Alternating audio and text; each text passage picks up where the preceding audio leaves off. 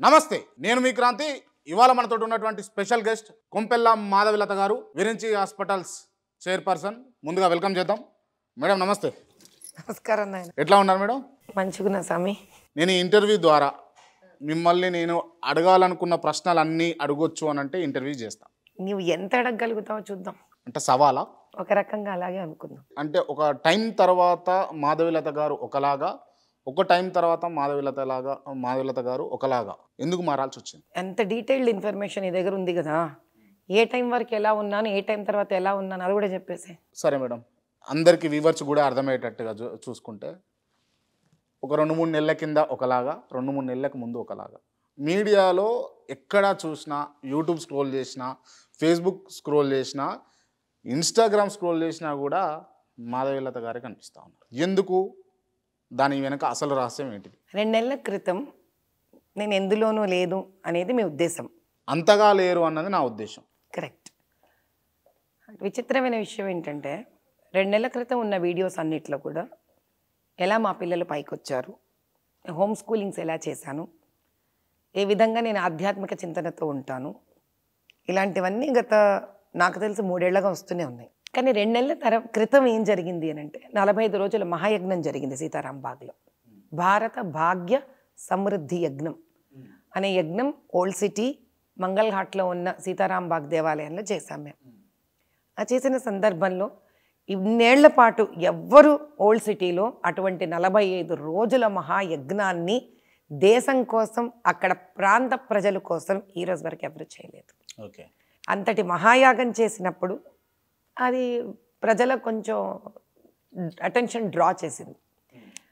అలాంటి అలాంటప్పుడు జరిగిన వన్ ఆర్ టూ ఇంటర్వ్యూస్లో నేను మాట్లాడిన విధము దృక్పథము. బహుశా ఇలాంటి చక్కటి మనుషులు చాలామందిని ఆకట్టుకుందేమో. నాకు ఇలా తెలియాలి. అంతే దట్స్ ఇట్ దీని వెనుక ఒక గొప్ప రహస్యం గొప్ప గండికోట గండుకోట రహస్యం లాంటి నేను అనుకుంటున్నా. అనుకుంటున్నా ఎలాంటి రహస్యం అనుకుంటున్నావు ప్రశ్నవే ఆన్సర్ ఇస్తా కదా. ఏదైనా. ఏదైనా. మీకు పొలిటికల్గా ఇంట్రెస్ట్ ఉందా? ఇంట్రెస్ట్ అంటే ప్రతి ఇంట్రెస్ట్కి ఒక కారణం ఉంటుంది జాగ్రత్తం అవ్వడానికి. అది చాలా ఇంపార్టెంట్ మీరు ఇంజనీర్ అవ్వాలని ఇష్టపడుతున్నారా? మీకు డాక్టర్ అవ్వాలని ఇంట్రెస్ట్ ఉందా? అలాంటిదే ఈ ఇంట్రెస్ట్ కూడా. ఈ ఇంట్రెస్ట్ ఎందుకు వచ్చింది అనేది ఇంపార్టెంట్ బేసిక్గా పొలిటికల్ ఇంట్రెస్ట్ ఉందా అనే దానికన్నా. ఉంది అని అంటే ఎందుకు వచ్చింది అన్నది నేను అడుగుతా. ఈ రోజు ఉంది. ఈ రోజు ఉంది. ఈ రోజు ఉంది. ఈ రోజు ఉంది ఇన్ ద సెన్స్ అంటే నేను అడుగుతున్నా కాబట్టి ఉంది అని అంటున్నారా? మీరు ప్రీవియస్ ఇంటర్వ్యూలలో కూడా ఉంది అని చెప్పారా? ఎవరు అడగలేదా? క్రాంతి నా వేరే ఇంటర్వ్యూస్ చూడలేదు. అలా అనుకొని ఆన్సర్ ఇవ్వనా? క్రాంతి నా వేరే ఇంటర్వ్యూస్ చూసాడని ఆన్సర్ ఇవ్వనా? నేను అడిగిన దానికి ఆన్సర్ ఇవ్వండి. సో నా ఆన్సర్ నేను ఆన్సర్ ఇవ్వాలి అంటే మీరు వేరే ఇంటర్వ్యూస్లో ఈ మాట చెప్పారా లేదా అని కదా క్రాంతి క్వశ్చన్ అవును. సో క్రాంతి నా ప్రీవియస్ ఇంటర్వ్యూస్ చూశాడు అనుకోనా? చూడలేదు అనుకోనా? చూసిండు అనుకోండి అందులో అందులో ఆల్రెడీ చెప్పేశాను నేను నాకు ఇంట్రెస్ట్ ఉంది అని. ఓకే ఎస్ స్పెషల్ ఇంట్రెస్ట్ ఉంది. రాజకీయంగా మాధవిలత గారు పైకి రావాలి అన్న తాపత్రయంతో మీడియా ముందుకు వస్తున్నారు అనట మీరేమంటారు? రాజకీయ ఇంట్రెస్ట్ తోటి మీడియా ముందు నేను రాలేదు. దీన్ని ఒప్పుకోను నేను. సరే దాన్ని ఎవరంటున్నారు ఎందుకంటున్నారోతో నాకు సంబంధం లేదు. క్రాంతి నన్ను అడుగుతున్నాడు కాబట్టి క్రాంతికి ఆన్సర్ ఇస్తా.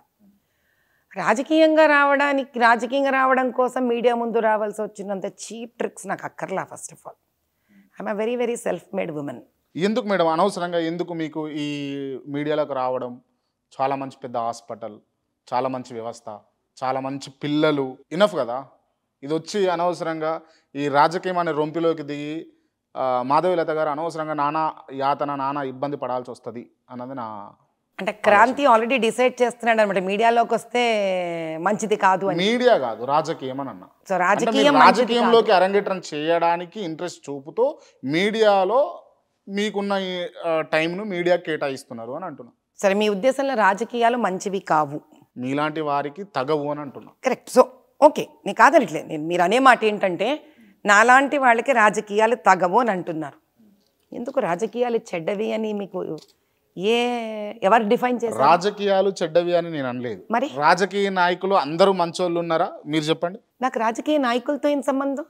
నాకు రాజకీయం రాజకీయాలతో రాజకీయ నాయకులతో కదా. కరెక్ట్ ఫర్ ఎగ్జాంపుల్ ఇప్పుడు మీరు అన్నారనుకోండి ఏదైనా ఒక ఇండస్ట్రీని తీసుకొని లాయర్సే తీసుకోండి ఫిలిం ఫిలిం ఇండస్ట్రీయే తీసుకోండి మెడికల్ ఇండస్ట్రీయే తీసుకోండి.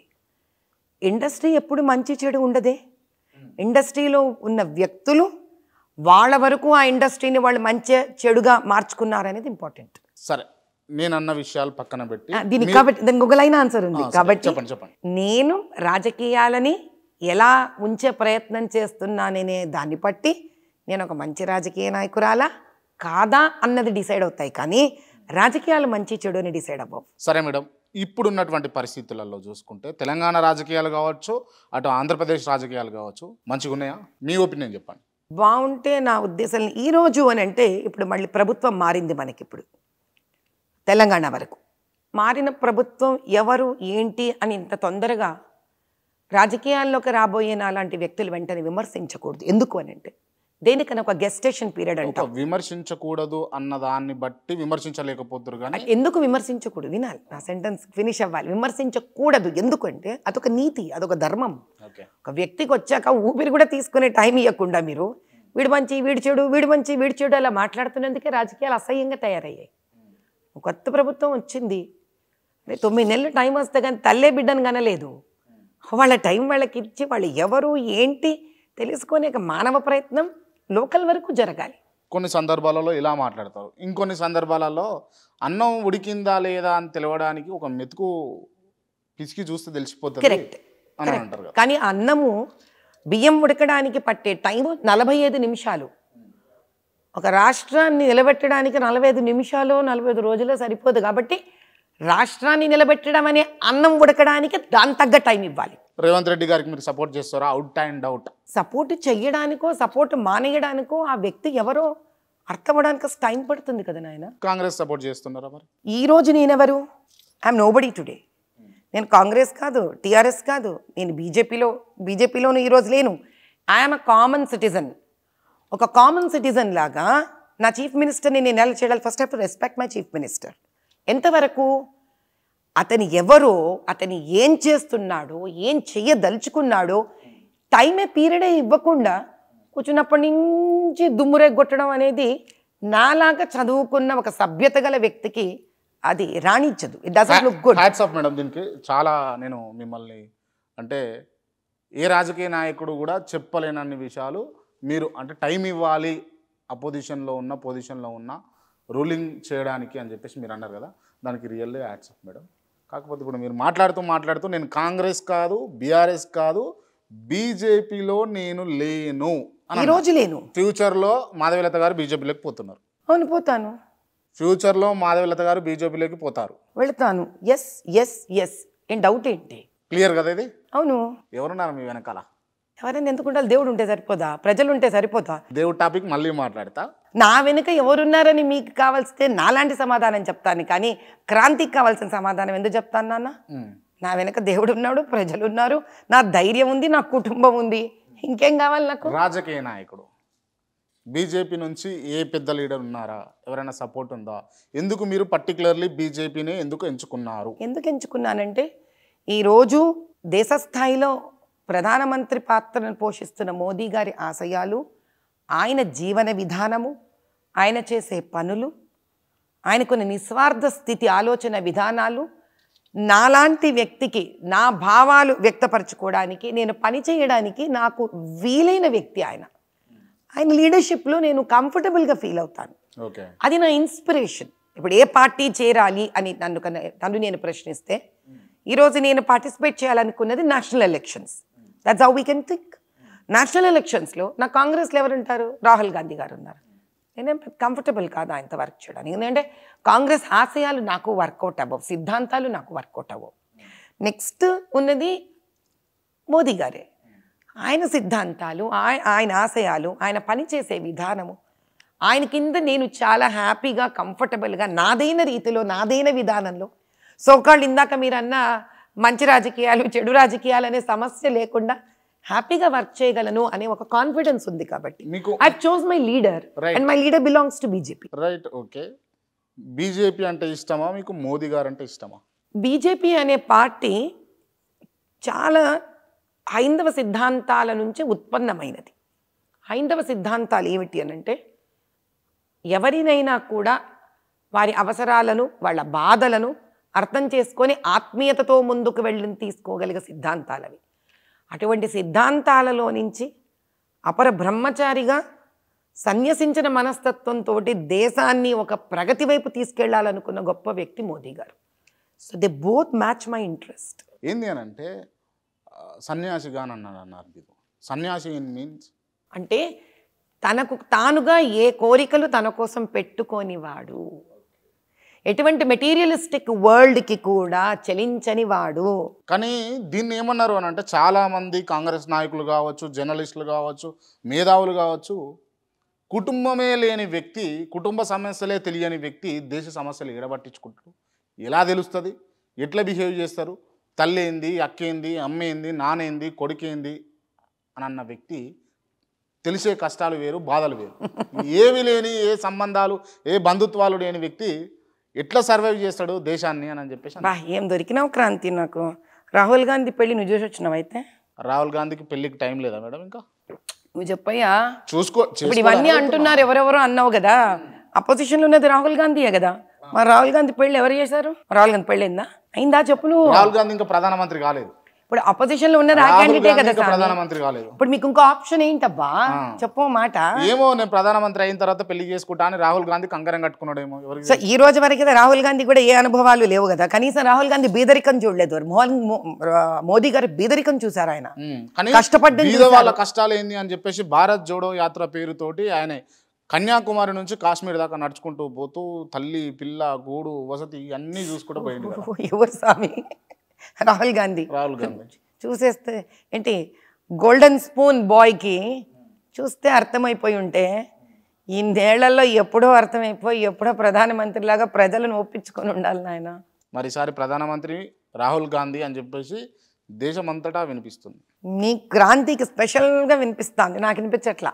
మీకు ఒక్కరికి వినిపించకపోతే ఎవరికి వినిపిస్తలేదని అంటారా క్రాంతికి వినిపిస్తే అందరికి వినిపించినట్టు క్రాంతికి ఎందుకు వినిపిస్తుంది మేడం? అనిపించింది వినిపించింది కనిపించింది చెప్తున్నా. సరే రాజస్థాన్ ఏమైంది? ఛత్తీస్గఢ్ ఏమైంది? మధ్యప్రదేశ్ ఏమైంది? ఇవన్నీ ఎవరికి EVM వినిపించిందప్పా? ఇవన్నీ ఈవీఎంల ట్యాంపరింగ్లు అని అంటే ఏమంటారు? ఎంత మీ అచ్చా మీకు ఎలక్ట్రానిక్ ఓటింగ్ దానికి మీ ట్యాంపర్ అంటున్నారు కదా? ఒక్కొక్క బటన్ ప్రెస్ చేయాలంటే అసలు ఎన్ని సెకండ్లు పడుతుంది తెలుసా మీకు?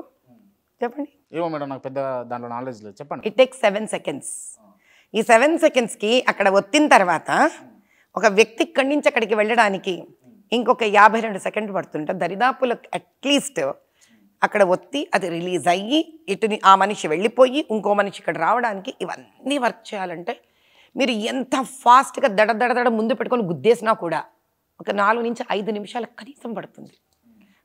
వేసుకోండి ఇంకా మీరు. ఇంటూ వేసుకోండి ఓటింగ్స్ చూసుకోండి. ఇక్కడ మన ఊరికే స్టూడియోలోనో ఎక్కడో కూర్చొని సరదాగా చెప్పుకున్నంత ఈజీ కాదు నాన్న. అంత అవసరం కూడా ఆయనకు లేదు. మోదీ గారికి ఆయన ఇచ్చిన స్కీమ్స్ ఆయనకున్న డిసిప్లిన్ ఆయన చేసే వి- పని విధానము ఆయన డిక్లేర్ చేసిన చీఫ్ మినిస్టర్లు అంటే ఒక్కొక్కళ్ళు ఒక్కొక్కళ్ళు ఎంత నిజంగా ధర్మబద్ధంగా ఎంతో బీదరికం బ్యాక్గ్రౌండ్తో స్వయం కృషితో పైకి వచ్చి వాళ్ళకు కూడా తెలియదు ఆ రోజు వాళ్ళు చీఫ్ మినిస్టర్ అవుతున్నారని. That itself tells who is మనకేముంది? మనం ఎన్నైనా చర్చించుకోవచ్చు. Okay madam. బీజేపీలో మీ పొజిషన్ ఏంది? మాధవిలత పొజిషన్. ఈ రోజు నేను ఇంకా బీజేపీ చేరలేదే. పొజిషన్ ఎక్కడి నుంచి వస్తుంది చేరకుండా? హామీలు అయితే ఉంటాయి కదా. ఏం హామీలు? ఎందుకు ఇస్తారు ఎవరైనా? ఏదో అత్తసం అల్లుడు దానం చేసినట్టు. మళ్ళీ చెప్తావే ఎవరు నాకు హామీలు ఇచ్చేది? మరి? మాధవిలత గారు బీజేపీ అని అంటే అవతల ఎంత ఎంతటి వ్యక్తి ఉన్నా ఎవరైనా ఏం పట్టించుకోకుండా బీజేపీకి సపోర్ట్ చేస్తూ మాట్లాడుతున్నారు కదా. అవును నాకు ఇష్టం కాబట్టి. ఇప్పుడు నాకు అయోధ్య రాముడు ఇష్టము మాట్లాడతాను రాముడి గురించి. నాకు మధుర మీనాక్షి అమ్మవారి ఇష్టము మాట్లాడతాను. I have right to expression I have right to speech నా ఫండమెంటల్ రైట్ బాబు. నేను ఎవరు నచ్చితే ఎవరి సిద్ధాంతాలు నచ్చితే నేను వాళ్ళని సపోర్ట్ చేస్తాను. సిటిజన్గా అది నా రైట్. దాన్ని సవాల్ చేసే వాళ్ళు ఎవరు ఉన్నారబ్బా అంటే రాజకీయంగా ఏ అంశాలు లేదు ఏ కోరిక లేదు అని అనుకున్న పర్సన్స్ అయితేనేమో మాట్లాడుతుంటే వాళ్ళ ఒపీనియన్ చెప్తున్నట్టు. మీరు రాజకీయంగా క్లియర్గా నాకు ఉన్నది ఇంట్రెస్ట్ ఉన్నది అని అని చెప్పేసి చెప్తూ మీరు బీజేపీని పొగుడుతున్నారు కదా బీజేపీని అంటి పెట్టుకొని ఉన్నారు కదా? నాకు పద్దెనిమిది ఏళ్ళు వచ్చినప్పుడు నేను మొట్టమొదటి ఓటు వేసింది బీజేపీకే. మరి అప్పుడు దాన్ని ఏమంటావు మీకు అప్పుడు తెలుసా madam BJP? I don't know be what is BJP on that day also. నేను యాకుత్పుర సంతోష్ నగర్ కాలనీ ఇరవై ఐదేళ్ళు నేను అప్పుడు మొదటి ఓటు బీజేపీకే వేశాను. సరే. మరి ఇప్పుడు ఆ రోజు ఏంటి మరి నేను? ఓటు వేసే ప్రతి ఓటరు ఒక పార్టీని ఇష్టపడి నేనా వేస్తున్నారు కదా. నేనా మీ చిన్నతనం గతంలోకి వెళ్ళి చూడలేను. మీరు ఆ రోజు సరే నన్ను వదిలేసేయండి. నాకు. నన్ను వదిలేసేయండి. ఏ ఓటర్ అయినా ఓటు బీజేపీకి ఓటు వేసిన ఓటరు మరి బీజేపీని ఇష్టపడే ఓటు వేస్తాడు కదా.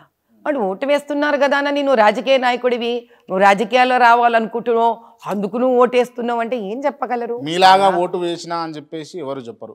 నేను కూడా మొన్న అసెంబ్లీ ఎన్నికలు అయినాయి. నేను ఏ పార్టీకి ఓటేసినానన్నది మీరు అడిగినా నేను చెప్పాను. మీరు చెప్పకండి. కానీ నేను చెప్పేది ఏంటంటే మీరు నిర్మోహమాటంగా చెప్తున్నారంటే మీ పార్టీ మీరు పార్టీకి స్టాండ్ తీసుకున్నారు. పార్టీ పరంగా మీరు ఒక పొజిషన్లోకి వెళ్ళాలనుకుంటున్నారు కాబట్టి పార్టీ పరంగా ఒక పొజిషన్ అది ఈ భాషకు నేను సంబంధించిన వ్యక్తిని కాదు. నేను పార్టీ పరంగా ఒక పొజిషన్కి వెళ్ళాలనుకోవట్లేదు. నేను ఒక కాన్స్టిట్యువెన్సీని ఎంచుకొని ఆ కాన్స్టిట్యువెన్సీలో నేను కష్టపడాలనుకున్నాను. ఆ కాన్స్టిట్యువెన్సీలోని ప్రజలు గుర్తింపు రావాలనుకున్నాను. వాళ్ళకి ధర్మం జరగాలనుకుంటున్నాను. వాళ్ళకి న్యాయం జరగాలనుకుంటున్నాను. అందుకు నిలబడాలంటే ఎంత చారిటబుల్ వర్క్స్ చేసినా అది సరిపోవట్లేదని తెలుసుకున్నాను.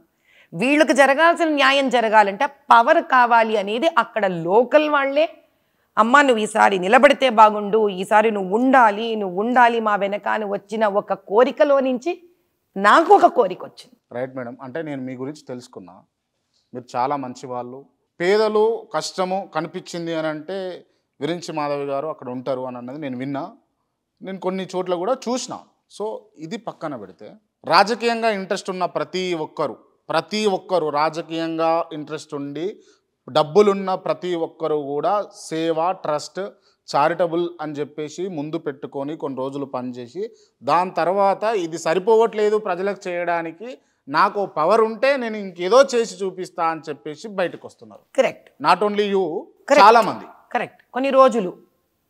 నేను వచ్చేదాకా ఎలక్షన్లు అయ్యేంత వరకు. స్వామి నేను పద్దెనిమిదేళ్ళ నుంచి చేస్తున్నా. మరి రోజులకి పద్దెనిమిదేళ్ళకి నేను మిమ్మల్ని అనట్లేను. సో చెప్తున్నా నేను. నాన్న నేను ఒకరి గురించి ఎప్పుడు? నేను ఏ ఇంటర్వ్యూలో కాదు పర్సనల్గా కూడా. ఒకరి గురించి నేను విమర్శించే వ్యక్తిని కాదు. వాళ్ళు అలా ఉన్నారు వీళ్ళు ఇలా ఉన్నారు that's none of my business నేనెవరు? నేనేం చేస్తున్నాను? నేను కరెక్ట్గా ఉన్నానా లేదా? నేను ప్రజలకు ఉపయోగపడతానా లేదా? నేను అంతవరకే మాట్లాడతాను. ఇంకెవరో ఎలా ఉన్నారో దాని గురించి నేనేం విమర్శించగలను? సరే మేడం ఓపెన్గా అడిగేస్తున్నా ఇక. ఏ అడగా స్వామి నేను ఏదో కళ్ళుకొచ్చి ముంత దాచినట్టు ఎందుకు ఇప్పుడు విరించి మాధవిలత గారు. బీజేపీ పార్టీ నుంచి ఏ ఎంపీ స్థానం నుంచి పోటీ చేయబోతా ఉన్నారు? ఇంకా డిసైడ్ డిక్లేర్ అవ్వలేదు. అవకాశం ఇస్తే ఎక్కడి నుంచి పోటీ చేస్తారు? అది ప్రశ్న. మీరు డిసైడ్ అయిపోయినారు కాన్స్టెన్సీ పర్టికులర్గా పెట్టుకొని ఆ కాన్స్టెన్సీ పేరు చెప్పండి.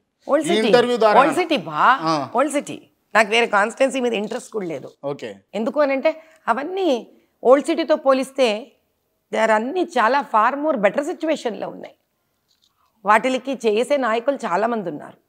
దీనికి ఎవరు లేరు. లేరు. ఎందుకు ఆ డే స్టెప్ తీసుకున్నారు? వేరే ఉందయ్యా అందులో. మనిషిగా పుట్టినందుకు. ఒకవేళ రాజకీయాల్లో రావాలనే ఒక ఇంట్రెస్ట్ ప్రజల మధ్యలో నుంచి నాకు వచ్చినప్పుడు అప్పుడు దమ్మున్న ప్లేస్ వెళ్ళి పోరాడగలిసిన ప్లేస్ తీసుకోవాలి కానీ అంత బాగున్న వడ్డిచిన విస్తరాకు తినడానికి నేను ఎందుకయ్యా? చాలామంది ఉంటారు కదా. వద్దు నాకు అది. నేను ఒకవేళ ధర్మబద్ధమైన వ్యక్తినైతే ఎక్కడ న్యాయం లేదో అక్కడ న్యాయం ఇవ్వడానికి పోరాడే ఒక పోరాటమే నాకు రాజకీయాలంటే కానీ నాకేదో కిరీటం పెట్టేసేది నాకు రాజకీయం కాదు. నా స్వలాభానికి వాడేది రాజకీయం కాదు. పర్టికులర్గా ఓల్డ్ సిటీయే ఎంచుకోవడానికి రీజన్. అంటే నేను ఇరవై ఐదేళ్ళు అక్కడే పుట్టి పెరిగాను. పెళ్ళయ్యాకే నేను సంతోష్ నగర్ కాలనీ నుంచి బయటకు వచ్చాను. నాకు చాలా విచిత్రమైన విషయం ఏంటంటే నేను పద్దెనిమిదేళ్ళగా నేను చాలా చారిటబుల్ వర్క్స్ చేసినా కూడా లాస్ట్ సిక్స్ సెవెన్ ఇయర్స్గా రకరకాలుగా ఓల్డ్ సిటీ ఎన్నో చారిటబుల్ యాక్టివిటీస్తో అసోసియేట్ అయి ఉన్నాను నేను. ఈ అసోసియేషన్ టైంలో చాలా ముఖ్యమైన విషయం ఏంటి అని అంటే అక్కడ ఉన్న వాళ్ళు చాలామంది నన్ను పర్సనల్గా రిక్వెస్ట్ చేశారు. అమ్మా మీరు రావాలి ఓల్డ్ సిటీ అంతా తిరగాలి ఒక్కసారి మీరు చూడండి అమ్మా మీరు ఇప్పుడు చాలా జనరల్గా వర్క్ చేస్తున్నారు. అలా కాదు. మీరు స్పెసిఫిక్గా వర్క్ చేయాలి మీరు ఇచ్చినంత టైం ఎవ్వరు ఇవ్వట్లేదు మా బాధ వినడానికి. అంటే లాడ్ ఆఫ్ ఎన్జిఓ ఆర్గనైజేషన్స్ నన్ను వచ్చి రిక్వెస్ట్ చేశాయి అండ్ మీరు సర్ప్రైజ్ అవుతారు. ముస్లిం ఎన్జిఓ ఆర్గనైజేషన్స్ రిక్వెస్ట్ చేశాయి నన్ను. మీరు రండి. మీరు వచ్చి చూడండి. మీకే ఆ ధైర్యం ఉంది దీన్ని బయటికి లాగడానికి. నాకు ఒక రకంగా ఆశ్చర్యం వేసింది అది. సరేనని అప్పుడు ఈ year two thousand twenty three Chennai నుంచి అదే పని రీలొకేట్ అయ్యి నేను ఇది ఎవరికి చెప్పాల? క్రాంతికి చెప్తున్నా. ఓకే. చెన్నై నుంచి అదే పని రీలొకేట్ అయ్యి నేను అలా కాదు ఏంటి అసలు దీని సంగతి చూద్దామని చెప్పి. మార్చ్ థర్టీన్త్ మార్చ్ థర్టీన్త్ వస్తే exactly three sixty five days ఆగకుండా twenty four by seven. Three sixty five days work చేసిందని అవుతాను నేను. ఎవ్రీ డే ఇరవై ఐదేళ్ళ వరకు నేను ఓల్డ్ సిటీలోనే ఉన్నానమ్మా మ్యారేజ్ వరకు. అప్పుడు దాన్ని ఎలా వదిలేసి వచ్చినప్పుడు ఇప్పుడు మీకు నేను ఒక పెద్ద ఫ్యాక్ట్ చెప్తాను. నేను ఈ రోజు దాకా ఎవరికి చెప్పనిది. మేము సంతోష్ నగర్ కాలనీలో ఉండేవాళ్ళం. ఆ కాలనీలో నేను ఈడబ్ల్యూఎస్హెచ్ వన్ ట్వంటీ సెవెన్ ఇంట్లో ఉండేదాన్ని. దానికి పక్కనే ఒక దేవాలయం అక్కడంతా మా ఫ్రెండ్స్ స్కూల్ పిల్లలు. ఇదే సంతోష్ నగర్ని నేను మొన్న ఒక పది నెలల క్రితం వెళ్ళాను చూడడానికి. అలా గుర్తుపట్టలేకపోయాను నేను దాన్ని. బాగుందా బాగలేదా? అందరి ఇండ్లు ఖాళీ చేసి అమ్మేసుకొని వెళ్ళిపోయారు అక్కడి నుంచి. ఏంటి? ఎందుకు? నాకు అర్థం కాలేదు. ఎవరు మనం ఎవరు ఒక్కళ్ళిద్దరు ఇండ్లు అమ్ముకుంటాం అంతే. అలా కాదు. అందరు కాల్ చేసిపోయారు ఎయిటీ పర్సెంట్ కా- అమ్మేసుకొని ఖాళీ చేసుకొని ఎందుకు? రీజన్ ఏమై ఉంటుంది అది తెలుసుకోవడానికి నా జర్నీ ఇంకా సీరియస్గా తీసుకొని ముందుకెళ్ళాను. అంటే ఇది ఎవరికైనా వినడానికి కష్టం ఉండొచ్చు కష్టంగా ఉండొచ్చు కానీ ఇది నిజం. అక్కడ హిందువులు ఎవరికి సపోర్ట్ లేదు. ఎంటైర్ ఓల్డ్ సిటీలో. ఓకే. అక్కడ వాళ్ళ కోసం నిలబడడానికి ఒక గొంతు లేదు. వాళ్ళ కోసం అర గట్టిగా నేనున్నానని చెప్పే ధైర్యం ఉన్న వ్యక్తులు లేరు. ఎవరికి వాళ్ళకి వాళ్ళకి వాళ్ళు ఒక డీల్స్ ఉంటాయో మరి ఏముంటాయో నాకు తెలీదు. అక్కడ హిందువులు ఒక అనాథలు. ఓల్డ్ సిటీలో హిందువులు అనాథలు అంటారు ఎస్ వాళ్ళకి చెప్పుకోవడానికి ఎవరూ లేరు. వాళ్ళకి ఏమన్నా కావాలంటే కూడా వాళ్ళు చాలా కష్టపడాలి. కనీసం ఒక డ్రైనేజ్ ఇబ్బంది ఉన్నా ఒక చెత్తని క్లియర్ చేయించాలన్నా దేవాలయం చుట్టుపక్కల వాళ్ళకు సమస్యలు ఉన్నా వాళ్ళు ఎన్నో కాంప్రమైజెస్తో బతకాలి తప్ప వాళ్ళకు సహాయపడడానికి గొంతెత్తి అరవడానికి నిలబడడానికి వ్యక్తులు లేరు అక్కడ. పద్దంబాలరెడ్డి గారు ఆ టైంలో వేరు. ఈరోజు ఎవ్వరూ లేరు. ఇట్స్ ఓపెన్ ఫ్యాక్ట్ అంటే ఓల్డ్ సిటీలో ఉన్నటువంటి హిందువులను రక్షించుకోవడానికి మాధవిలత గారు ఓల్డ్ సిటీ నుంచి కంటెస్ట్ చేద్దామని చెప్పేసి ఫిక్స్ అయినారు. ఇది హండ్రెడ్ పర్సెంట్ ఒక నిజమైతే మీరు లోపలికి వెళుతున్న కొద్దీ ఇంకో భయంకరమైన నిజం వస్తుంది. ఓకే. చాలామంది పస్మంద ముస్లిమ్స్ అంటే బీదవాళ్ళు అని అర్థం. ఎంత దయనీయ స్థితిలో ఉంటారంటే వాళ్ళు ఆ కుటుంబం అంతకు మూడు వేలు నాలుగు వేలు సంపాదిస్తుంటుంది. అంతా కలిపి. ఐదారు మంది పిల్లలు భార్య భర్త. వాళ్ళు ఇంటి రెంట్ ఐదు వేలు కడతారు. ఏం చదువుకుంటారు ఇంకా వాళ్ళు? ఎప్పుడూ అప్పులలోనే ఉంటారు వాళ్ళు. ఎప్పుడూ ఒక నెల రెంట్లు కట్టకుండా ఉంటారు వాళ్ళు. ఎప్పుడు ఎవరైనా ఇంత మెడికల్ హెల్ప్ ఇవ్వగలరా? ఇంత మందులు ఇవ్వగలరా? ఏదైనా అన్నం పెట్టగలరా? ఓ ఉద్యోగం ఇప్పించగలరా అని ఎదురు చూస్తూ ఉంటారు వాళ్ళు. చదువులు ఉండవు వాళ్ళ పిల్లలకి. చైల్డ్ లేబర్ చేస్తుంటారు వాళ్ళ పిల్లలందరూ. వాళ్ళ ఇళ్ళలో చాలామంది ఉద్యోగాలకి మగవాళ్ళు వెళ్ళరు. ఆడవాళ్ళు ఏదో చిన్న చిన్న పనులు చేసుకుంటూ ఉంటారు. చాలామంది ముసలి వాళ్ళు తల్లి తల్లులని వదిలేసిన వాళ్ళు ఉంటారు పిల్లలు. వాళ్ళకి దిక్కు దివాణా ఉండదు. చాలా భయంకరంగా ఉంటుంది అక్కడ స్థితి. If you have to look at the economical conditions చాలా భయంకరంగా ఉంటుంది. ఇంకొకటి ఆ వీధులలో ఎక్కడ హైజీన్ ఉండదు. చెత్త కుండీలేత దారుణంగా ఉంటుంది. అంటే అసలు ఎలా ఉంటుందంటే ఈ జూబ్లీ హిల్స్ బంజారా హిల్స్ నుంచి ఒక్క ఫిఫ్టీ ఫీట్ దాటితే నాంపల్లి కాన్స్టిట్యున్సీ మీ నాంపల్లి కాన్స్టిట్యున్సీ కొంచెం దాటంగానే మీకు ఓల్డ్ సిటీ వచ్చేస్తుంది. అంటే ఇక్కడ నుంచి అక్కడికి మహా అంటే మీకు ఎంత? ఒక four hundred metres five hundred metres అంటే హాఫ్ కిలోమీటర్ కన్నా ఉంటుంది. ఒక అర కిలోమీటర్లో మీకు ఎంత తేడా కనిపిస్తుంది క్వాలిటీలో ఆఫ్ లైఫ్లో అంటే ఎంత దిగజారిపోయిన స్థితి కనిపిస్తుందంటే అది చూసిన తర్వాత హిందువులకు ఒక రకంగా సపోర్ట్ అబ్జల్యూట్లీ లేదు వాళ్ళకి డెవలప్మెంట్ లేదని ఒక బాధ అయితే ముస్లింలలో కూడా ఆ దయనీయ స్థితిలో పేదరికంలో ఉన్న వాళ్ళకి కూడా ఏమీ జరగట్లేదు అక్కడ.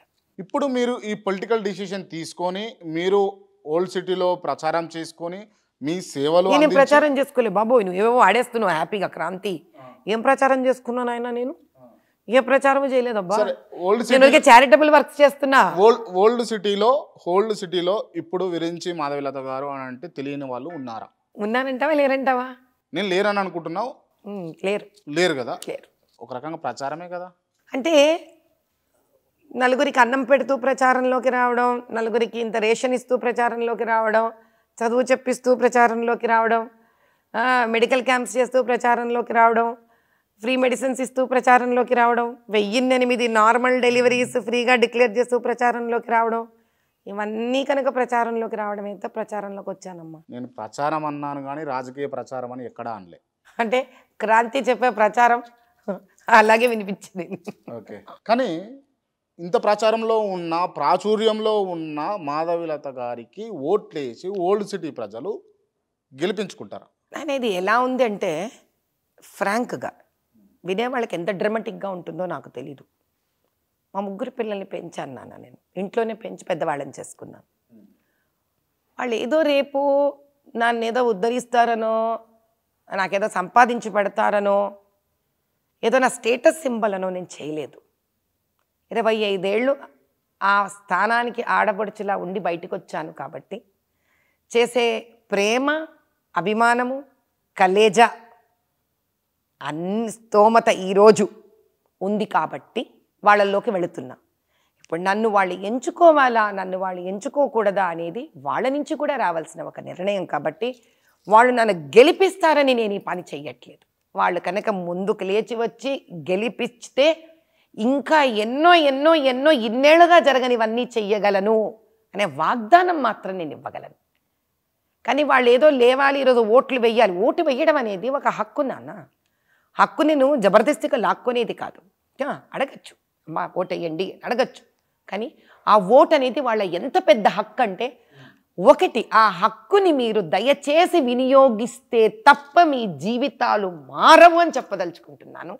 ఆ ఓటు వేసిన నాడు ఆ హక్కుని మీరు వినియోగించిన నాడు ఆ హక్కుని దైవపూరితంగా చూసి దానికి ఉండవలసిన గౌరవాన్ని నేను ఉంచుతానని నేను చెప్పగలను. Okay. I'm here to educate people that's I'm a very different politician but old సిటీలో బాగా బోగస్ ఓట్లు ఉంటాయి అని చెప్పేసి బాగా వినిపించేటటువంటి మాట. ఓకే అయితే? బోగస్ ఓట్లను ఎట్లా అరికడతారు మీరు? అది first state government police department పని. జిహెచ్ఎంసి ఒక్కసారైనా డోర్ టు డోర్ క్యాంపెయిన్ చేసి మేము ఎప్పుడైతే కంప్లైంట్స్ లాడ్జ్ చేస్తామో తీసి పారేయకుండా పూర్వం గవర్నమెంట్ లాగా ఇప్పుడున్న గవర్నమెంట్కి నేను క్రాంతి ఈ ఛానల్ ద్వారా విన్నపించుకునేది ఏంటంటే బాబు ఈసారన్నా దయచేసి పోలింగ్ బూత్స్ని బయటికి లాగండి. సందులు గొందులల్లో ఓట్లేయడానికి కూడా భయపడి ఒక్కొక్క చిన్న చిన్న పోలింగ్ బూతులలో నాలుగైదు సెంటర్లను పెట్టేసి అలా చెయ్యకుండా దయచేసి ఆ లోపలుగా రిమోట్ ఏరియాస్లో భయ భయభ్రాంతులు చెందేటటువంటి ఉన్న పోలింగ్ బూత్స్ని మెయిన్ రోడ్స్కి తీసుకొని రండి. దాన్ని ఓపెన్గా పెట్టండి. ప్రాపర్ పోలీస్ ప్రొటెక్షన్ ఇవ్వండి. వచ్చే వాళ్ళకి ఓటు వేసే వాళ్ళకి ఫేస్ రికగ్నిషన్ ఫస్ట్ మొహం చూడాలి వాళ్ళది. మొహం చూపించకుండా ఓటు వేసేది హక్కు ఎవరికీ లేదు. ఇలాంటివి as per rule constitutional law follow అవ్వండి ఇప్పుడు వాళ్ళకు బుర్కా ఉంటుంది కదా బుర్కా తీసి ఓటు వేయలేరుగా వాళ్ళు? బుర్కా తీయక్కర్లేదు. You have to open your face face open ఇక్కడ వరకు కూడా ఉంటుంది కదా బుర్కా? బురకా అనేది త్రీ పీసెస్ నాయన ఒకటి ఒక గౌన్ లాగా వేసుకునేది. ఇంకోటి స్కార్ఫ్ కట్టుకుంటారు. ఇంకోటి ఫేస్ కవర్ చేసుకుంటారు. ఫేస్ మాస్క్ తీయాలంట ఫేస్ మాస్క్ తీస్తే సరిపోతుంది. వాళ్ళు ఈ ఈ- ఏదైతే ఉంటుందో హెడ్ స్కార్ఫ్ అది తీసే అవసరం లేదు. ఎందుకంటే నేను ఐడి ఎవరు వచ్చేస్తున్నారు? దేశ భవిష్యత్తుని మార్చే ఓటింగ్ అనే ఒక ప్రాసెస్ని ఎవరేస్తున్నారో కూడా తెలియకుండా ఎవరితో వేయిస్తున్నట్టు మీరు ఓటు? రైట్ మరి విరించి మాధవి గారు ఆల్రెడీ అంటే కంటెస్ట్ చేయాలని చెప్పేసి డిసైడ్ అయిపోయినారు. ఈ పర్టిక్యులర్ పీపుల్కి ఖచ్చితంగా నేను న్యాయం చేయాలి ఎక్కడైనా చేయగలుగుతా. బట్ వీళ్ళకి చేయాలని చెప్పేసి మీరు ఫిక్స్ అయినారు. బట్ దానికి కంటే ముంగట మీరు చేయాల్సిన పని ఏంటంటే అక్కడ ఓటు వేసే వాళ్ళను చైతన్యం చేయాలి. ఓట్లు వేయించుకోగలగాలి పోలింగ్ బూత్లు ఏర్పరచుకోగలగాలి. సాధ్యపడుతుందా ఇదంతా మీతో? సాధ్యపడుతుంది సాధ్యపడదు అనేది వేరే మాట. ప్రయత్నం చేస్తామా లేదా అనేది ముఖ్యం. నేను నా మానవ ప్రయత్నం ప్రయత్నం చేస్తారా? చేస్తాను ఎందుకు? తప్పకుండా చేస్తాను. రైట్. అంటే మీరు డిసైడెడ్ ఇంకా పొలిటికల్గా ఎంట్రీ ఇస్తున్నా from BJP from old city అని చెప్పేసి డిసైడెడ్ కదా? మీకు ఓల్డ్ సిటీ నుంచి నేను స్పెసిఫిక్గా పేరు చెప్పను కానీ ఏమన్నా బెదిరింపు కాల్స్ ఏమన్నా వచ్చినాయా? నాకు ఈ రోజు వరకు రాలేదు. మీ వాళ్ళ వరకు ఏమన్నా వచ్చినాయా? వాళ్ళు నాకు ఇంకా చెప్పలేదు. అంటే వాళ్ళకి వచ్చినాయి అన్నట్ట? ఏమో మరి తెలియదు నాకు. నా వరకైతే డిస్కషన్స్ రాలేదు. వస్తే అని అనుకుంటున్నారా? నేను వస్తే రానివ్వండి. నాకు ఆలోచన లేదు దాని గురించి అంత. ఐ డోంట్ కేర్ వస్తే ఏంటి బింద? ఆ రోజైతే ఫస్ట్ రికార్డ్ చేసి క్రాంతిగా పంపిస్తాను నేను. ఆ, మళ్ళీ ఇంకో ఇంటర్వ్యూ చేద్దాం క్రాంతితోటి. ఆ, ఐ జస్ట్ డోంట్ కేర్ నానా these things are too small for in my life ఒక్కసారి అంటే మీరు ఇది నేను ఏ విధంగా ఎక్స్ప్రెస్ చేయదలుచుకున్నానంటే ఒక స్థానానికి స్వాతంత్రం ఇప్పించాలి అని పోరాటానికి దిగిన తర్వాత బరిలోకి ఈ ఫోన్ కాల్స్ ఈ చెత్త ఈ చెదారం వీటిలన్నిటికీ టెన్షన్ పడి బెదిరి వెనక వెళ్ళే ప్లేయర్ కాదు నేను. ఐఎమ్ నాట్ దాట్ ఓల్డ్ సిటీలో చలాన్లు కట్టారు ఓల్డ్ సిటీలో కరెంటు బిల్లులు కట్టారు అని అన్నది ఉన్నది. ఎప్పుడన్నా కట్టిపించే ప్రయత్నం చేసిరా మీరు? ఇది ఓల్డ్ సిటీలో కరెంటు బిల్లులు కట్టించడం అన్నది ఆలోచించడం ఒక పద్ధతి. వాళ్ళ అమాయకత్వం ఎలా ఉందో అది ఆలోచించడం ఒక పద్ధతి. వాళ్ళ అమాయకత్వం ఏంటంటే ఐదు వేల రూపాయలు రెంట్ ఉంటుంది. ఏమ్మా? ఐదు వేల రూపాయలు రెంట్ కట్టే స్తోమత రావడం వాడికి ఇంపార్టెంట్ కదా. వాడికి అర్థం కావట్లేదు. వాడి జీవితంలో ఐదు వేల రూపాయల రెంట్ కట్టే స్తోమతను వాడి నుంచి తీసేసి ధర్మబద్ధంగా గవర్నమెంట్ కట్టాల్సిన ఐదు వందల రూపాయలు ఆరు వందల రూపాయల కరెంటు బిల్లు వేవ్ చేస్తున్నారు ఫ్రీగా అక్కడ. వీడేమనుకుంటున్నాడు? ఏ వెరి వెరి వెంగళప్ప అబ్బా నా కరెంటు బిల్లు వేవ్ అయిపోతుంది గవర్నమెంట్ది పాపం అందుకే రాజకీయ నాయకులు ఎన్న ఎంచుకోబడి నాకు గవర్నమెంట్ తరపున ఫ్రీ చేస్తున్నాడు అనుకుంటున్నాడు. కాదు ఐదు వేల రూపాయల రెంట్ కట్టే స్తోమత కూడా అదే గవర్నమెంట్ ఎవరైతే రిప్రజెంటేటివ్ ఉన్నాడో సారీ ఓట్ ఓట్లతో నెగ్గిన రిప్రజెంటేటివ్ ఉన్నాడో అతను ఐదు వేల రూపాయల సామర్థ్యం తెప్పించాలి. ఐదు వేల సామర్థ్యం వచ్చినాక ఐదు వందల కరెంటు బిల్లు కట్టడం నాకు ఎంతసేపు? కాబట్టి నేను అక్కడ చూడవలసింది వాడికి ఐదు వందల రూపాయల కరెంటు బిల్లు కట్టించడం కాదు. ఇది ఎంత పెద్ద స్కామ్ సైకలాజికల్ స్కామ్ ముందు వాడికి అర్థమయ్యేటట్టు చేయాలి. నేను ఆ పని చేస్తా. ఐదు వందల రూపాయలు బిల్లు కట్టించే దగ్గర ఆలోచించాను నేను ఫస్ట్ అరే పిచ్చోడా నేను పిచ్చోడి చేస్తున్నారా ప్రపంచము చూసుకో నువ్వు. ఐదు వందల రూపాయలు అత్తసం అల్లుడు దానం చేసినాడు ఎవడోసం ఎవడో దానం చేస్తున్నాడు నీకు? నీవు జీవితాంతం ఐదు వందల రూపాయలు ఎలక్ట్రికల్ బిల్ కట్టే స్తోమతకు నిన్ను తీసుకెళ్ళవలసిన బాధ్యత నీ నాయకుడికి ఉంది. అది ప్రశ్నించు నువ్వు. ఆ నాయకురాలను నేను అవుతానని అంటారు ఎగ్జాక్ట్లీ ఆ నాయకురాలను నేను అవుతానంటారు. ఎగ్జాక్ట్లీ ఓల్డ్ సిటీ ప్రజల యొక్క జీవితాలు ఆర్థికంగా రాజకీయంగా అలానే ఉండడానికి కారణం Akbaruddin Owaisi and team MIM పార్టీనా? లేకపోతే స్టేట్లో రూల్ చేస్తున్న పార్టీనా? ఇప్పుడు అక్బరుద్దీన్ ఓవైసీ గారు ఆ ప్రాంతాన్ని అలా ఎందుకు పెట్టారంటే ఆ ప్రశ్న మీరు ఆయన్ని అడగండి సమాధానం ఆయన ఇస్తారు. మీరు ఏమనుకుంటున్నారు? అక్కడ నుంచి వస్తున్నా వస్తున్నా వస్తున్నా. ఆ ప్రాంతం ఎప్పటికీ ఒక యాభై ఏళ్ళగా అలా ఉండిపోవడానికి కారణం ఎవరూ కూడా అక్బరుద్దీన్ ఓవైసీకి ఎదురు నిలబడి నేను సత్తాతో నిలబడతాను నేను నీతో పోటీ చేస్తానని గట్టిగా నిలబడకపోవడం వల్ల ఇష్టారాజ్యం భరతుడి పట్టం నడుస్తుంది అక్కడ. మీరు వస్తే ఓల్డ్ సిటీ ప్రజల జీవితాలు రాజకీయంగా ఆర్థికంగా మారతాయా? ఖచ్చితంగా మారుతుంది ఎందుకు మారదు? Where there is a will there is a way మనసును చూడ మార్గం తప్పకుండా ఉంటుంది. మీరు పక్కా చేస్తారా మేడం? అంటే ఇప్పుడు పేపర్ మీద రాసినా ఎలా చెప్పాలో నాకు తెలీదు. ఖచ్చితంగా మారుతుంది. అన్కండిషనల్గా మారుతుంది. తిరుగు లేకుండా మారుతుంది. మారే వరకు నేను అహర్నిశలు ప్రయత్నం చేస్తూనే ఉంటాను. ఆ మార్పులో మీకేమన్నా ఇబ్బందులు జరిగితే? ఆ జరగని. మీరు బాగుంటేనే కదా పది మందికి పెట్టేది. నా తర్వాత ఇంకొకరు తయారవుతారయ్యా. ఇండిపెండెన్స్ దేశ స్వాతంత్రం ఒక్క వాళ్ళు ఒక్కరి వల్ల వచ్చిందా? ఈ ప్రయాణంలో నాకేమైనా అయింది అనుకుందాం? నేను టపా కట్టేశాను అనుకుందాం పైకి. ఇంతవరకు ప్రయాణం తీసుకొచ్చినందుకు ఇంకొక యువత తయారవుతుంది. నా వెనక ఇంకో స్ఫూర్తి వస్తుంది. దాన్ని బిగినిచ్చిందని అవుతాను కదా Kranthi at least I have started the whole journey అది కదా చాలా అందమైంది. ఎవడికి వాడు నేను చెయ్యను నాకు భయం అని వెనక వెళితే ఇది ప్రయాణం మొదలయ్యేది ఎప్పుడు? ఇది నేను చేశానా? ఇంకెవరైనా చేశారా? అనేది కాదు.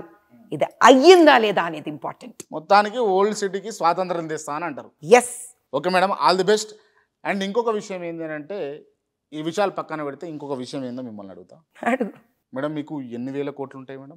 వేల కోట్లు ఏం లేవులేనా వందల కోట్లు ఉంటాయా? ల్యాండ్స్ ఇవి కొనుక్కొని ఎప్పుడు ఇరవై ఇరవై రెండేళ్ళ నుంచి కదా ట్వంటీ టూ ఇయర్స్ లేదా వి బాట్ సమ్ ల్యాండ్స్ అవన్నీ హై ధరలు పెరిగి ఇప్పుడు ఉంటాయి అయినా కూడా మా అమ్మ అంటే మీ పిల్లలు మా అమ్మ అనవసరంగా ఇటువంటి నిర్ణయాలు తీసుకుంటుంది రిస్క్ చేస్తుంది అనవసరంగా ఇబ్బంది పడి మమ్మల్ని ఇబ్బంది పెడుతుంది.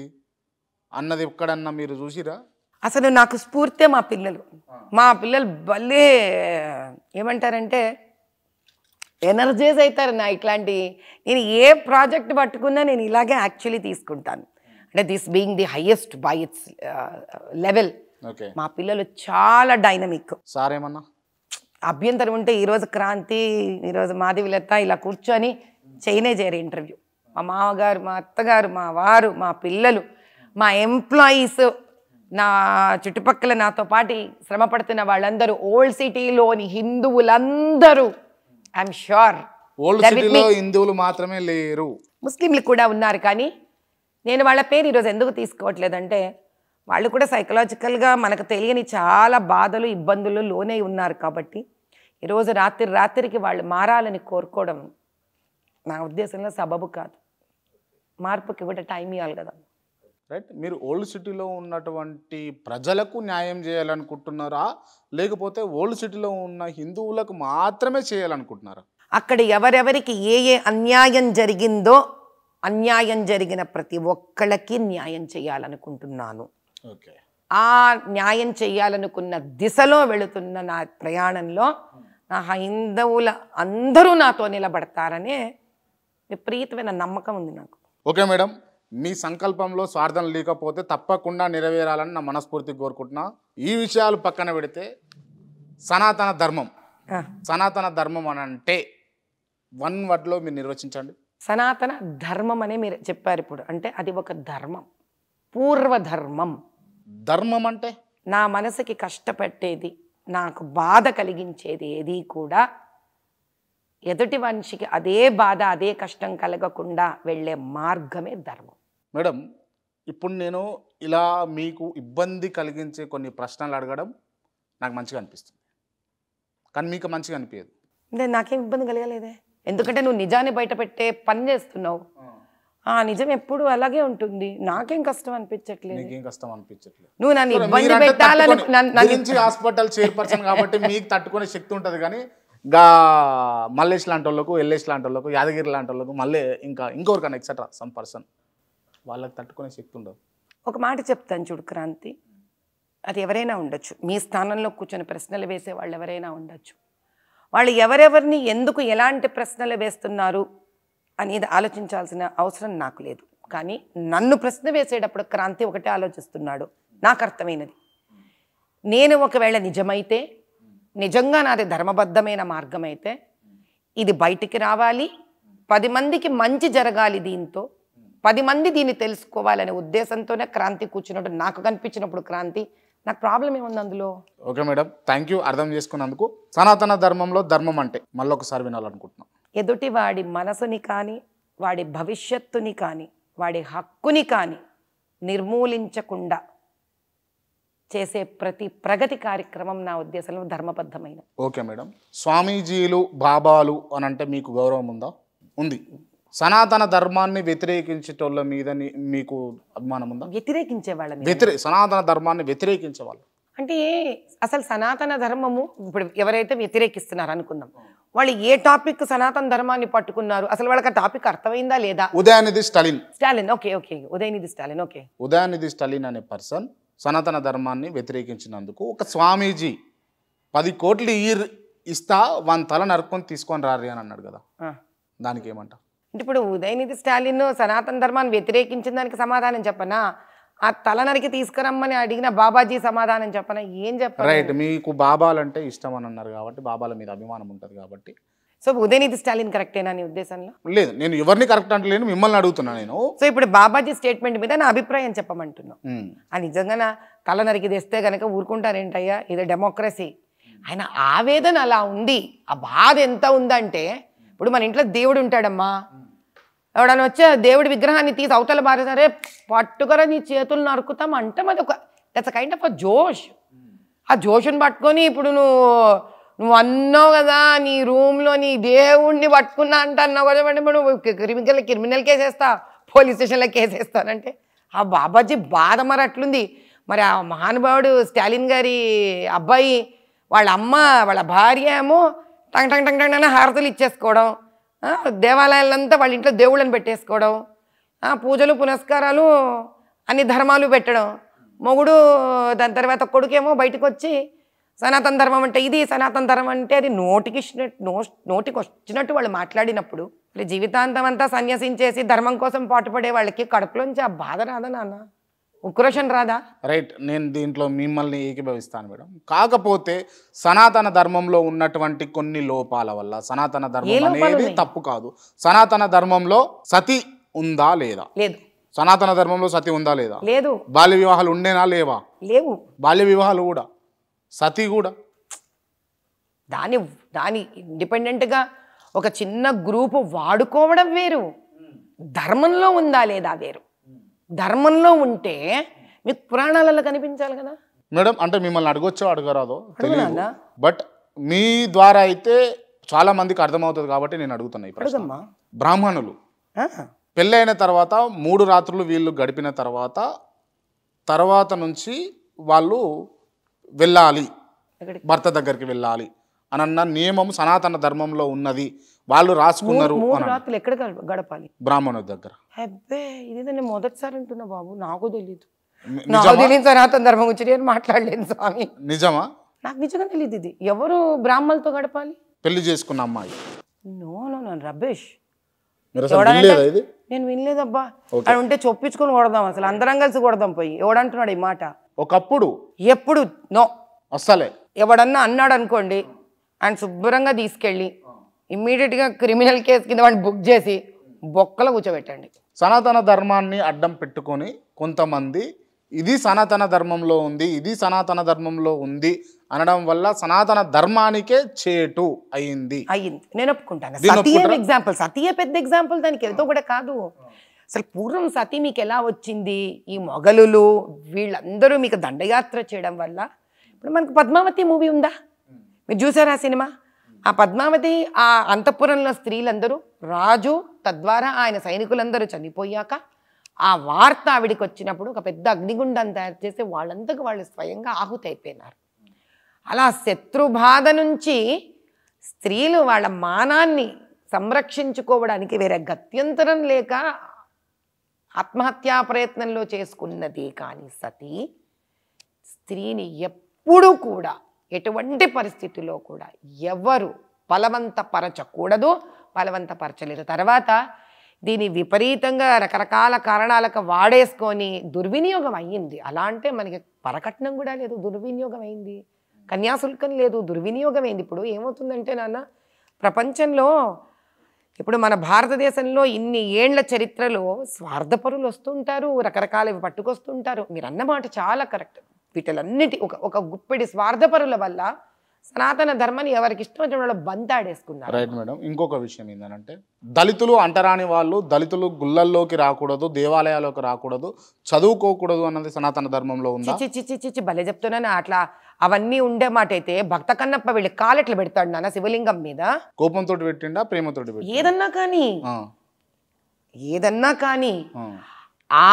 సందర్భంలో భక్త కన్నప్పని దూషించిన అతనికి కాలు పడిపోయింది చేయి పడిపోయింది నోరు పడిపోయింది. దేవుడికి ఎవ్వరు కూడా నా కాదు అనే మాట లేదు. అసలు అది వినడానికే జుగుబ్సగా ఉంటుంది నాకు దేవాలయాల్లో ఆపడం ఏంటి గర్భాలయంలోకి కూడా చాలా సార్లు I just don't like I'm against this and and and and ఇంకో విషయం మా ఇంట్లో మా ఇంట్లో పనిచేసే పని వాళ్ళు మేము అందరం కలిసి కలిసి గొప్పవాళ్ళు మేడం మీరు. గొప్పవాళ్ళు మేడం అందరూ అలా లేరు వాళ్ళని మార్చాలి అది మా బాధ్యత ఓకే. థ్యాంక్ యూ అండ్ ఇంకో విషయం ఏంటి అంటే అంబేద్కర్ పుట్టక ముందు సనాతన ధర్మం ఉందా అంబేద్కర్ పుట్టిన తర్వాత వచ్చిందా సనాతనం అంటే ఈ రోజు నిన్న మొన్నది కాదు బాబు వేల. సంవత్సరాల కదా అంబేద్కర్ గుళ్ళోకి రాకుండా గుళ్ళోనికి రాకి రానియకుండా బడిలో కూడా అసమానతలకు గురై ఆయన చదువుకోవాలన్న పట్టుదలతో చదువుకొని గొప్ప వ్యక్తి అయి దేశానికి రాజ్యాంగాన్ని అందించిండు కదా మరి ఆయన కూడా ఆ అస్పృశ్యతకు అంటరానతనానికి లోన్ కావడానికి కారణం ఏంటిది? బ్రిటిష్ ప్రభుత్వం బ్రిటిష్ ప్రభుత్వం ఎప్పుడైతే సెవెంటీన్త్ సెంచరీలో వాళ్ళకి వాళ్ళు ఇండియాకి వచ్చారు వాళ్ళు. మీకు ఒక స్పీకింగ్ ఒక పుస్తకం ఉంది. అది it's a very book nice book అందులో చాలా నిజాలు ఉన్నాయి తెలుసుకోవాల్సినవి ఉన్నాయి. పదిహేడవ శతాబ్దంలో అంటే ఐ వుడ్ సే ఎయిటీన్త్ సెంచరీని అంటారు. ఎందుకంటే ఈ ఇంగ్లీష్ వాళ్ళు సెవెంటీన్ ఫిఫ్టీ దారిపోతే దాన్ని ఎయిటీన్త్ సెంచరీ అంటారు. పద్దెనిమిదవ శతాబ్దంలో భారతదేశాన్ని ఇంకా ఈస్ట్ ఇండియా కంపెనీ మొక్కల కింద చేయలేకపోతాండింది. అప్పుడు వాళ్ళు ఏం చేశారు అంటే ఏంటి పరిస్థితి? ఎందుకు భారతదేశం ఇంత గట్టిగా ఉంది? ఏంటి దీని స్ట్రెంగ్త్ తెలుసుకోవడానికి. అప్పట్లో సోకాళ్ళు అనే కలెక్టర్స్ని దేశానికి పంపించారు. అందరూ ఆశ్చర్యపోవాల్సిన విషయం ఏమిటంటే వేద పాఠశాలలు కాకుండా ఎన్నో పాఠశాలలు ఎన్నో విశ్వవిద్యాలయాలు ఇక్కడ స్థాపించబడ్డాయి. నలంద దాని తర్వాత ఇంకోటి మన బీహార్ దగ్గర ఒకటి ఇటు ప్రెసిడెన్సీ దగ్గర మద్రాస్ ప్రెసిడెన్సీ దగ్గర ఒకటి పంజాబ్ దగ్గర ఒకటి ఇవి యూనివర్సిటీస్ ఉన్నాయి. వీటిలన్నిటిలో కూడా స్కూళ్ళల్లో కూడా మత జాతి విచక్షణ లేకుండా ఎందుకంటే మనకి కాస్ట్ అనే పదం మనకి లేదు.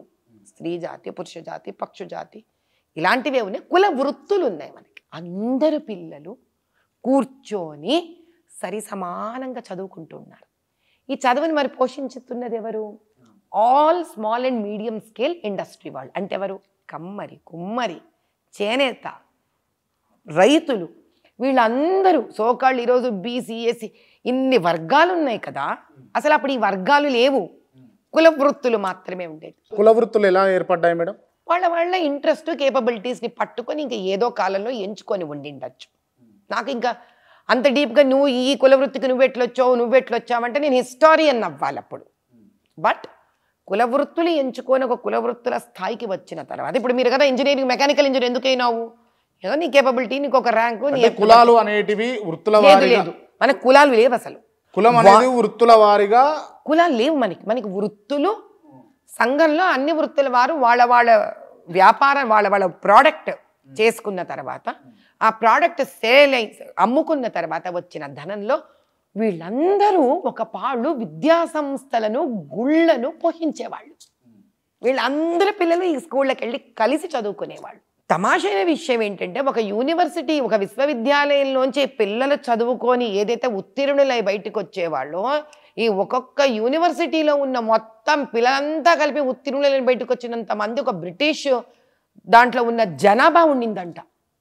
అంటే ఎంతమంది చదువుకొని బయటకు వస్తున్నారు దీన్ని సపోర్ట్ చేసిన ఎన్ని ఇండస్ట్రీస్ మన దగ్గర ఉన్నాయి ఇది వీళ్ళు వీళ్ళు ఎడ్యుకేషన్ వీళ్ళు రిలీజియన్ అంటే టెంపుల్స్ అప్పుడు మనకి గుళ్ళే కదమ్మా.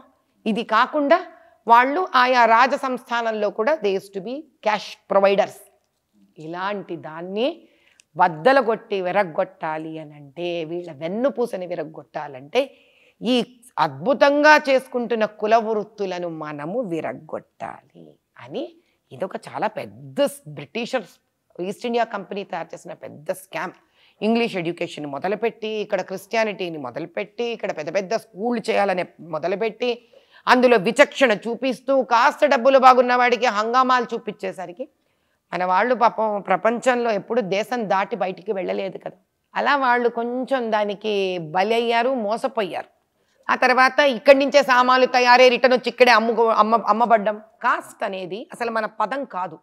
దాన్ని ఇక్కడ వీలైన దగ్గర పదంతో కలుపుకొని తీసుకొని అప్పుడు అయిన నామకరణం తప్ప మనకి ఇది వరకు కులాలు లేవు. మహావిష్ణువు యాదవులలో పుట్టాడు. ఆయన వెంకటేశ్వర స్వామి కింద మళ్ళీ కింద వచ్చి ఏ దాని లేకుండా జన్మించాడు ఆయన? రకరకాల కులాలలో ఇప్పుడు కులం అనే మాట వాడవలసి వస్తుంది. కూడా అది తప్ప వేరే అర్థం కాదు. అవును. అలా దేవుడు అన్నిట్లోనూ ఎందుకు జన్మించి చూపించాడంటే బాబు నాకేం లేదరా నాయన. మీరు కూడా ఏం పెట్టుకోకుర్రి ఎగ్జాక్ట్లీ ఇక్కడికి వచ్చిన నేను. ఓ నలుగురితో కెమెరా సెటప్తో ఇక్కడికి వచ్చిన కదా. ఇక్కడికి రావడానికి నాకు మీకు సంబంధించినటువంటి ఒక పర్సన్ ఇన్ఫర్మేషన్ ఇవ్వడము లొకేషన్ పెట్టడము టైం చెప్పడము మీ టైం తీసుకోవడము ఇదంతా కమ్యూనిటీ కమ్యూనికేట్ అయిన తర్వాత నేను ఇక్కడికి రాగలిగిన. కరెక్ట్ ఇది ఏది జరగకుండా నేను రాలేకపోతుంటే. కానీ బ్రిటిష్ వారు భారతదేశానికి రావడానికి వాళ్ళకు ఎవరు సందు చూపించారు. ఇది ఫస్ట్ ఎలా జరిగింది అని అంటే మీకు బ్రిట్ యూరప్ దేశంలోనే కొన్ని దేశాల నుంచి ఉన్న వాళ్ళని వాళ్ళు ట్యాక్స్లు కట్టుకుంటూ ఇబ్బంది పడుతున్నారు బ్రిటిష్ సామ్రాజ్యానికి. ఇప్పుడు యూరోప్లో వాళ్ళందరూ కొంతమంది కలిసి బాబు ఒక షిప్పు కాస్త డబ్బు మాకు ఇవ్వండి మేము ప్రపంచమంతా తిరిగి వస్తూ ఉంటాము. ఆ ప్రపంచంలో తిరిగిన దగ్గర నుంచి ఏవేవి సంపాదించుకుంటామో అందులో ఒక పాళ్ళు మేము బ్రిటిష్ మహారాణికి మీకు ఇచ్చేసుకుంటాము అని చెప్పారు. అలా వెళుతూ వెళుతూ వెళుతూ వెళుతూ వాళ్ళు ముందు అమెరికాకి వెళ్ళి వాళ్ళనే మన ఇండియన్స్ అనుకున్నారు. అవే వాళ్ళు రెడ్ ఇండియన్స్. ఆ తర్వాత నుంచి అలా ఎందుకని అంటే ఇండియా ఒక అద్భుతమైన దేశం అని it is called golden bird ఇక్కడ స్త్రీలు చాలా అందంగా ఉంటారని. ఇలా అరబ్ దేశం నుంచి ఇట్లా జరుగుతుండేది కదా మనకి business India through Arab cut చేస్తే బ్రిటిష్ వరకు వెళ్ళే వెళ్ళింది information it went all the way till there so అక్కడ వాళ్ళు ఇండియాని ఏమిటి ఈ దేశం? ఇంత డబ్బు ఎందుకుంది ఈ దేశంలో? ఏంటి దేశం గొప్పదనం అని తెలుసుకునే జిజ్ఞాసతో తిరిగి తిరిగి తిరిగి తిరిగి వస్తేనే అక్కడి నుంచి కింద నుంచి కేరళ నుంచి టచ్ అయి పైకి వచ్చారు. అందుకే మీ క్రిస్టియానిటీ ఫస్ట్ కేరళ నుంచి వచ్చింది. అక్కడ స్పైసెస్ చూసి వాళ్ళు ఆశ్చర్యపోయారు కదా. లేకపోతే మన దగ్గర ఉండే ఏవైతే మసాలాలు ఉన్నాయో అది ప్రపంచంలో ఎక్కడుంది? ఇక్కడి నుంచే కదమ్మా బయటికి వెళ్ళింది. అలా అక్కడి నుంచి ఈ దేశం ఒక గొప్పతనము ఈ దేశం ఒక చరిత్ర ఈ దేశంకున్న సంపదలు ఈ దేశంలో ఉన్న స్త్రీ ఇవన్నీ become attraction for them to enter in to it ఒకసారి లోపలికి వచ్చాక వాళ్ళ డర్టీ పాలిటిక్స్ మీ పాలిటిక్స్ ప్లే చేయడం మొదలుపెట్టారు. ఇక అంతే ఇంకా ఏం చేస్తాం? ఇంకా ఒక్కసారి బుద్ధి భ్రష్టత్వం పట్టాక స్వార్థానికి లోనయ్యాక అది ఒక ఓల్డ్ సిటీ అయితే ఏంటి పూర్తి దేశం అయితే ఏంటి ఒకసారి ఆ మార్గం తీసుకోకూడదు. నా వాడు నా దేశము అని ఆలోచించకుండా స్వార్థానికి ఎప్పుడైతే ఒక మనిషి లోనవుతాడో ఆ దేశాన్ని కూడా నాశనం చేస్తుందని చెప్పడానికే మన చరిత్ర ఒక చక్కటి నిదర్శనం. మీరు బీజేపీని నమ్మినారు కదా? మోడీ గారిని నమ్మిరు కదా? మోడీ గారు దేశ సంపదనంతా దోచుకొని అంబానీ ఆదానీలకు పంచిపెడుతున్నాడు. అంబానీ ఆదానీలకు కాంటాక్ట్ రూపంలో ఇస్తున్నాడు. అని అంటే ఏమంటారు మీరు? బాగా టైం ఉందంటాను ఇవన్నీ మాట్లాడే వాళ్ళ దగ్గర. నా దగ్గర అంత టైం లేదంటాను. ఎందుకంటే పొద్దున్న లేచినప్పటి నుంచి నా టైం ఇట్లాంటి వాటి మీద ఫస్ట్ ఆఫ్ ఆల్ నేను స్పెండ్ చెయ్యను. ఇవన్నీ ఖాళీగా కూర్చొని ఏం చేయాలో తోచకుండా ఎందుకంటే ఒక సింపుల్ మాట మాట్లాడదాం మనం. మీరు నమ్మిరు కదా మేడం? నేనేం నమ్మలే. నాకు నమ్మాల్సిన అవసరం లేదు. ఆ డైరెక్షన్లో వెళ్ళను అసలు. నా బ్రెయిన్ ఆ డైరెక్షన్లో ఎప్పుడు పోదు. మోదీ గారు రాకముందు కూడా అంబానీ కష్టపడ్డాడు కదా ఏముంటుంది అసలు ఆ డిస్కషన్ కానీ అప్పటికంటే గ్రోత్ యాన్యువల్ ఇన్కమ్ ఇప్పటికి దేశానికి కూడా పెరిగింది కదయ్యా. సో దేశం అంతా అంబానీలు ఉన్నట్టే కదా మరి లెక్క ప్రకారం. దేశం కూడా ఏ టెన్త్ పొజిషన్ నుంచి ఫిఫ్త్ పొజిషన్కి వచ్చి దాని గురించి ఎవరు మాట్లాడుకుందాం? అది వద్దా మనకి? ఓకే. రాబోయే కాబోయే ప్రధానమంత్రి ఎవరు అని అంటే ఏం చెప్తారు మీరు? మోదీ గారు అంట క్లియర్. క్లియర్. ఇంకో ఆప్షన్ లేదు. ఇంకో ఛాన్సే లేదు. లేదు. మేడం మీరు ఓల్డ్ సిటీ నుంచి నిలబడితే ఎన్ని డబ్బులు ఖర్చు పెట్టుకుంటారు? డబ్బులు ఖర్చు పెట్టడం ఏంటి మళ్ళీ మధ్యలో ఇది అడ్డంగా ఏమిటో అసలు రాజకీయాలకి ఒక సీట్ వచ్చి ఒకవేళ నిలబడితే డబ్బులు ఖర్చు పెట్టనే మాట ఎందుకు వస్తుంది అమ్మ మీరు ఎంత టైం ఇస్తారు? ఎలా చేస్తారు? తిరుగుతారా? హ్యాపీగా కారులో కూర్చుంటారా? ఇవన్నీ అడగాలి కానీ నన్ను. డబ్బులు అడగడం ఏంటి? ఎంత అసహ్యంగా ఉంది నాకు వినడానికి. అలా తయారయ్యాయేమో. అలా తయారు చేసిర్రు. ఎవరన్నా ఎట్లనే ఉండని స్వామి. డబ్బుతో సంబంధించింది కాదు ఇది. నేను నాకు నేను ఎంత నేను ప్రజలకు నేను ఇవ్వగలను? ఇప్పుడు ఫర్ ఎగ్జాంపుల్ ఈరోజు ఎన్నో కార్య ధర్మ కార్యక్రమాలు చేస్తున్నా ఫ్రీగా అవి ఫ్రీ అవుతాయి అవి డబ్బు ఖర్చు పెడుతూనే ఉన్నాను కదా. యజ్ఞం చేశాను డబ్బు ఖర్చు అయింది మెడికల్ క్యాంప్స్ చేస్తున్నాను డబ్బు ఖర్చు అయింది సర్జరీస్ చేయిస్తున్నా డబ్బు ఖర్చు అయింది ఫ్రీ మెడిసిన్స్ ఇస్తున్నా డబ్బు ఖర్చు అయింది. అంతే. ఏ అవసరం ఉంటే ఆయా చోట్ల ఓటుకు నోటు వ్యవహారాలు చేయరా మీరు? ఓటుకు నోటు చేసేదాన్ని అయితే ఇంత కష్టపడ్డాం ఎందుకయ్యా బాబు? నాది ఆ పద్ధతే కాదు నా రూటే వేరు. Right madam thank you thank you so much. Thank you ఈ ఇంటర్వ్యూ క్లోజ్ చేసే ముందు నేను కొంతమంది పేర్లు చెప్తాను. వాళ్ళకి సంబంధించి మీరు ఓన్లీ వన్ వర్డ్ ఆన్సర్ ఇవ్వాలి. ఇదేదో బాగుంది మధ్య వేరే వెరైటీగా అందరు ఇలా కడుతున్నారు. కానీ డన్ ముందుగా ప్రధానమంత్రి Modi. Father of nation Amit Shah. Intellectual of the country like Chanakya Kalvakuntla Chandrashekar Rao. గతం Yanumala Revanth Reddy. Present Akbaruddin Owaisi. Very soon become the past and history Asaduddin. అదే కోవా. కేటీఆర్. నాన్నగారి బాటను తీసుకొని వెళ్తాడు. కల్వకుంట్ల కవిత. మరి నాన్నే ఆ అమ్మాయికి ఆదర్శం. వైఎస్ జగన్మోహన్ రెడ్డి. ప్రస్తుతం ఈ టాపిక్ కాదు. YS Sharmila. Looking for a good future for her own self Nara Chandrababu Naidu. కొత్త తరం రావాలి. నందమూరి తారక రామారావు. ఆయన తెలుగు భాషకు చేసిన సేవ నేను చాలా ఇష్టపడతాను. నాకు ఇష్టమైన యాక్టర్లలో ఆయన ఒకరు. నందమూరి తారక రామారావు జూనియర్. పాపం ఆయనను హ్యాపీగా సినిమాలలో ఉండనిద్దాం. సీతక్క. ఆవిడకి గుళ్ళు చూసుకునే టైం ఇద్దాం ఎండోమెన్స్ కోమటిరెడ్డి వెంకటరెడ్డి. చాలా కష్టపడ్డారు ఈసారి. సనాతన ధర్మం. అది బ్రతుకున్నంత వరకు దేశానికి భవిష్యత్తుకి తిరుగులేదు. రాజ్యాంగం. దాన్ని గౌరవించాల్సిన బాధ్యత ప్రతి పౌరుడికి ఉంది. అయోధ్య రామ మందిరం. అది వచ్చినందుకు ఎంత సంతోషంగా ఉందంటే ఈ రోజుకైనా రామరాజ్యం స్థాపితం అవుతుందనే సంపూర్ణ నమ్మకం ఉంది. మాధవిలత. ఓల్డ్ సిటీ భవిష్యత్తు. క్రాంతి. నాలోని నిజాలు బయటికి తీసే నిజమైన Kranti. Thank you madam thank you so much thank you